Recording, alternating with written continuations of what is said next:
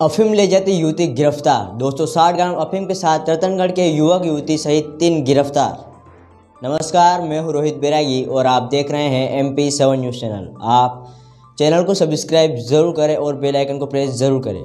नीमच ज़िले के रतनगढ़ क्षेत्र में 260 ग्राम अफीम लेकर कार से राजस्थान किसी तस्कर को देने जा रहे।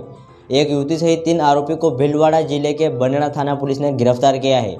एनडीपीएस एक्ट में प्रकरण दर्ज कर इनसे पूछताछ की जा रही है। बनड़ा टीआई नंदलाल रिणवा ने बताया कि मुखबिर की सूचना पर मिलने पर national highway Kota bypass road पर बासागा खेड़ा में नाकाबंदी की।